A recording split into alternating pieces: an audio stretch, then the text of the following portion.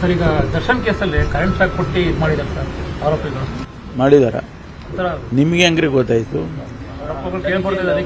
ಅಲ್ಲ ಸುಮ್ಮನೆ ನೋಡಿಯಪ್ಪ ಅದು ಇನ್ವೆಸ್ಟಿಗೇಷನ್ ಆಗುತ್ತೆ. ಅದರಲ್ಲಿ ನಾವು ಯಾವುದನ್ನು ಕೂಡ ಬಹಿರಂಗವಾಗಿ ಸಾರ್ವಜನಿಕರ ಮುಂದೆ ಹೇಳಕ್ ಬರೋದಿಲ್ಲ. ಇನ್ವೆಸ್ಟಿಗೇಷನ್ ಆಗಿ ವರದಿ ಬರುತ್ತೆ. ಕಾನೂನು ಪ್ರಕಾರ ಏನು ಕ್ರಮ ತಗೋಬೇಕು ಅದನ್ನ ತಗೊಳ್ತಾರೆ. ಯಾವುದೇ ಮುಲಾಜಿಲ್ಲದೆ ನಾವು ಕ್ರಮ ತಗೊಳ್ತೀವಿ ಅಂತಲೂ ಕೂಡ ಅನೇಕ ಬಾರಿ ನಾನು ಹೇಳಿದ್ದೀನಿ ಮುಖ್ಯಮಂತ್ರಿಗಳು ಹೇಳಿದ್ದಾರೆ. ಅದರಲ್ಲಿ ಯಾವುದೇ ಯಾರನ್ನೇ ರಕ್ಷಣೆ ಮಾಡೋದಾಗ್ಲಿ ಅಥವಾ ಯಾರಿಗಾದರೂ ಸಾಫ್ಟ್ ಕಾರ್ನರ್ ತೋರಿಸೋದಾಗ್ಲಿ ಅವೆಲ್ಲ ಏನು ಯಾವುದು ಕೂಡ ಇಲ್ಲ. ಯಾವ ಒತ್ತಡಕ್ಕೂ ನಾವೇನು ಮಣಿಯೋದಿಲ್ಲ.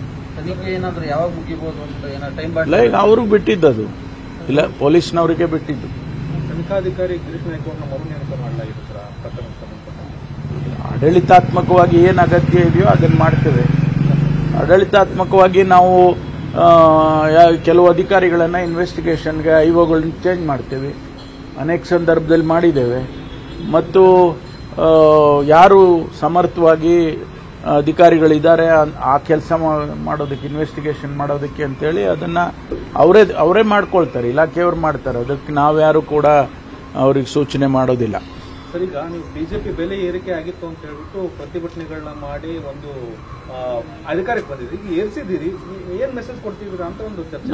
ಏರ್ಸಿದ್ದೀವಿ ಅಂದ್ರೆ ನಾವು ಸುಮ್ಮನೆ ಏನೋ ಇಷ್ಟಕ್ಕೆ ಬಂದಂಗೆ ಏರ್ಸಿದ್ವ ನಾವು ಯಾವ ಕಾರಣಕ್ಕೆ ಏರ್ಸಿದ್ದೀವಿ ಅನ್ನೋದನ್ನು ಕೂಡ ಅವರು ಅರ್ಥ ಮಾಡ್ಕೊಳ್ಬೇಕು. ಇವತ್ತು ರಿಸೋರ್ಸ್ ಮೊಬಿಲೈಸೇಷನ್ ಮಾಡಬೇಕು, ರಾಜ್ಯದಲ್ಲಿ ಅಭಿವೃದ್ಧಿಗಳಾಗಬೇಕು. ಅದಕ್ಕೋಸ್ಕರ ಹೆಚ್ಚು ಹಣವನ್ನು ನಾವು ಸಂಗ್ರಹಣೆ ಮಾಡ್ತಕ್ಕಂಥದ್ದು ಅಗತ್ಯ ಇದೆ. ಅದು ಈ ಸಂದರ್ಭಕ್ಕೆ ಅಗತ್ಯ ಇದೆ. ಅದಕ್ಕೋಸ್ಕರ ನಾವು ಮಾಡಿದೆ ಇವರು ಹಿಂದೆ ಮಾಡಿದಾಗ ನಾನು ಹೇಳಿದ್ನಲ್ಲ, ಹದಿನಾಲ್ಕು ಬಾರಿ ಕೇಂದ್ರ ಸರ್ಕಾರ ಹೆಚ್ಚು ಮಾಡಿದಾಗ, ಬ್ಯಾರೆಲ್ ಬೆಲೆ ಎಷ್ಟಿತ್ತು? ಅಲ್ಲಿ ಬ್ಯಾರೆಲ್ ಬೆಲೆ ಎಷ್ಟಿತ್ತು ಅಂತ ಅದನ್ನ ನಾವೆಲ್ಲ ಹಿಂದೆ ಕಂಪೇರ್ ಮಾಡಿ ಹೇಳಿದ್ವಲ್ಲ, ನಾವು ಕೂಡ ಪ್ರೊಟೆಸ್ಟ್ ಮಾಡಿದ್ವಿ. ಆಗ ಇವರು ಇಳಿಸಿದ್ರ? ಅವರೇನು ಇಳಿಸ್ಲಿಲ್ಲಲ್ಲ. ಹದಿನಾಲ್ಕು ಬಾರಿ ಮಾಡೋದು ಅಂದ್ರೆ ಏನು ಅರ್ಥ ಇದೆ? ಅದನ್ನು ನಾವು ಅವ್ರು ಜ್ಞಾಪಿಸ್ಕೋಬೇಕು ಅದನ್ನ ಬಿಜೆಪಿ ಅವರು. ಈಗ ಪೋಕ್ಸೋ ಪ್ರಕರಣದಲ್ಲಿ ಯಡಿಯೂರಪ್ಪನವರು ಇವತ್ತು ವಿಚಾರಣೆಗೆ ಹಾಜರಾಗ್ತೀನಿ ಅಂತ ಹೇಳಿದ್ದಾರೆ. ಹಾಜರಾಗ್ತಾ ಆಗ್ತಾರೆ ಆಗ್ಲಿ. ಅವರೇ ಹೇಳಿದಾರಲ್ಲ ಹಾಜರಾಗ್ತೀವಿ ಅಂತ ಎಸ್ ಐ ಟಿ ಮುಂದೆ ಹಾಜರಾಗ್ತೀವಿ ಅಂತ ಹೇಳಿದ್ದಾರೆ. ಹಾಜರಾಗಿದ್ಮೇಲೆ ಅವರು ಏನು ಕ್ರಮ ತಗೋಬೇಕು ಅದು ತಗೊಳ್ತಾರೆ. ಸರ್ ಈಗ ಪೆಟ್ರೋಲ್ ಬೆಲೆ ಏರಿಕೆಯಿಂದ ಅಗತ್ಯ ವಸ್ತುಗಳ ಬೆಲೆ ಕೂಡ ಏರಿಕೆ ಆಗುತ್ತೆ. ಜನರು ಇದು ಯಾವಾಗಲೂ ಹಂಗೇರಿ ರೀ. ಸ್ಪಿನ್ ಆಫ್ ಎಫೆಕ್ಟ್ ಅಂತ ಕರಿತೀವಿ ನಾವು. ಇದನ್ನು ಯಾವಾಗಲೂ ಕೂಡ ಪೆಟ್ರೋಲ್ ಡೀಸೆಲ್ ಬೆಲೆ ಜಾಸ್ತಿ ಆದಾಗ ಟ್ರಾನ್ಸ್ಪೋರ್ಟ್ ಬೆಲೆ ಜಾಸ್ತಿ ಆಗುತ್ತೆ ಆಟೋ ರಿಕ್ಷಾ ಬೆಲೆ ಬೆಲೆ ಜಾಸ್ತಿ ಆಗುತ್ತೆ ಬಸ್ಸಿನ ಬೆಲೆ ಜಾಸ್ತಿ ಆಗುತ್ತೆ ಬಸ್ಸು ಓಡಾಡೋದು. ಇದೆಲ್ಲ ಇದು ಸ್ಪಿನ್ ಆಫ್ ಎಫೆಕ್ಟ್ ಆಗಲೇಬೇಕಿದು ಅದನ್ನ ಈ ಅವಾಗಲೂ ಹಂಗೆ ತಾನೇ ಆಗಿದ್ದು. ಅವಾಗಲೂ ಅದೇ ತಾನೇ ಆಗಿದ್ದು. ಟಿಪಿ ಮತ್ತೆ ಬಿಪಿಎಂಪಿ ಚುನಾವಣೆ ಶೀಘ್ರದಲ್ಲೇ ಆಗ್ತದೆ ಅನ್ನುವಂಥದ್ದು ಚರ್ಚೆಗಳಾಗ್ತಾ ಇದ್ದಾವೆ. ಇಲ್ಲ ತಯಾರಿ ಮಾಡ್ಕೊಳ್ಳಿ ಅಂತೇಳಿ ನಮ್ಮ ಅಧ್ಯಕ್ಷರು ಹೇಳಿದ್ದಾರೆ. ಅದನ್ನ ಯಾವ ರೀತಿ ಮಾಡಬೇಕು, ಆ ರಿಸರ್ವೇಷನ್ಸ್ ಎಲ್ಲ ಸಂಪೂರ್ಣ ಮಾಡಬೇಕು. ಅದಕ್ಕೆ ಯಾವುದು, ಯಾರು ಕೋರ್ಟ್ಗೆ ಮತ್ತೊಂದು ಹೋಗದಾಗೆ ನೋಡ್ಕೋಬೇಕು. ಯಾರಾದರೂ ಕೋರ್ಟಿಗೆ ರಿಸರ್ವೇಷನ್ ಸರಿ ಇಲ್ಲ ಅಂತೇಳಿ ಮತ್ತೆ ಕೋರ್ಟಿಗೆ ಹೋದರೆ ಅದು ಮತ್ತೆ ಮುಂದಕ್ಕೆ ಹೋಗುತ್ತೆ. ಅದರಿಂದ ತಯಾರಿ ಮಾಡ್ಕೊಳ್ಳೋದಕ್ಕೆ ಸೂಚನೆ ಕೊಟ್ಟಿದ್ದಾರೆ ಅಧ್ಯಕ್ಷರು.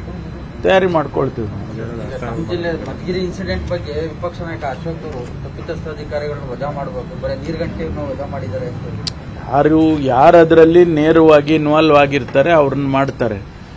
ಅದನ್ನ ಮಾಡಿದ್ದಾರೆ. ಪಿ ಡಿ ಒ ಅಲ್ಲಿ ಸ್ಥಳದಲ್ಲಿ ಸ್ಥಳೀಯವಾಗಿ ಆ ಪಂಚಾಯಿತಿಯ ಪಿ ಡಿ ಒ ಮತ್ತು ಅಲ್ಲಿನ ಏನೋ ಸೆಕ್ರೆಟರಿ ನೀರು ನೀರು ವಾಟರ್ಮೆನ್ ಅವ್ರನ್ನೆಲ್ಲ ಮಾಡಿದ್ದಾರೆ. ಇನ್ನೂ ಅದನ್ನ ತನಿಖೆ ಕೂಡ ಮಾಡ್ತಾ ಇದ್ದೀವಿ ಅದಾದ್ಮೇಲೆ ಏನಾದರೂ ಹಿರಿಯ ಅಧಿಕಾರಿಗಳ ಲೋಪ ಕಂಡು ಬಂದರೆ ಅವರನ್ನು ಮಾಡ್ತೇವೆ. ಏನ್ರಿ ಒಂದು ಇನ್ಸಿಡೆಂಟ್ ಅಲ್ಲಿ ನೋಡಿ ಆಯ್ತು ನಮ್ದು ಅವ್ರದ್ದು ಎಲ್ಲೋ ತಪ್ಪಾಗಿದೆ. ಅದು ಅದಕ್ಕೆ ನಾವು ತನಿಖೆ ಮಾಡಿ ಅವ್ರ ಮೇಲೆ ಕ್ರಮ ತಗೊಳ್ತೀವಿ. ಇವತ್ತು ನಮಗೂ ಕೂಡ ಜವಾಬ್ದಾರಿ ಇಲ್ವಾ? ನಮಗೂ ಜವಾಬ್ದಾರಿ ಇದೆ. ಈ ರಾಜ್ಯದಲ್ಲಿ ವಿದ್ಯುತ್ ಕೊಡಬೇಕು ಕುಡಿಯೋ ನೀರು ಕೊಡಬೇಕು ಇವೆಲ್ಲ ಸಾಮಾನ್ಯವಾಗಿ ಮನುಷ್ಯನಿಗೆ ಬೇಕಾದಂಥ ವಸ್ತುಗಳನ್ನ ಇವುಗಳನ್ನ ಕೊಡೋದಕ್ಕೆ ನಾವು ಬದ್ಧವಾಗಿದ್ದೀವಿ. ಆ ಇನ್ಸಿಡೆಂಟ್ ಆಗಬಾರ್ದಾಗಿತ್ತು ಆಗಿದೆ. ಅದಕ್ಕೆ ಏನು ಕ್ರಮ ತಗೋಬೇಕು ತಗೊಳ್ತೀವಿ. ಮುಂದೆ ಎಚ್ಚರಿಕೆ ವಹಿಸ್ತೀವಿ. ಇಲ್ಲಿ ಬೇರೆ ಕಡೆ ಎಲ್ಲೂ ಆಗದಾಗೆ ಎಲ್ಲರಿಗೂ ಕೂಡ ಸೆನ್ಸಿಟೈಸ್ ಮಾಡ್ತೀವಿ. ಮೈಸೂರು ಇನ್ಸಿಡೆಂಟ್ ಆದ್ಮೇಲೆ ಡಿಸಿ ಮತ್ತೆ ಅಂತ ಘಟನೆ ಮರುಕಳಿಸಿದ್ರೆ ಮರುಕಳಿಸಿದ್ರೆ ಡಿಸಿ ಮತ್ತೆ ಸಿಒ ಹೊಣೆ ಮಾಡ್ತೀವಿ ಅಂತ ಹೇಳಿದ್ರು. ಬಟ್ ನಿಮ್ಮ ತುಮಕೂರು ಕೇಸಲ್ಲಿ ಅದಕ್ಕೆ ತನಿಖೆ ಮಾಡ್ತಾ ಇದ್ದೀವಲ್ಲ ತನಿಖೆ ಮಾಡ್ತೀವಿ. ಈಗ ಡಿ ಸಿ ಹೊಣೆ ಆಗಿದ್ದಾರೆ ಸಿಇಒ ಹೊಣೆ ಆಗಿದ್ದಾರೆ ಅಂದರೆ ಅವ್ರಿಗೂ ಮಾಡೋದೆ. ಅವ್ರನ್ನೇನು ಬಿಟ್ಬಿಡ್ತೀವ?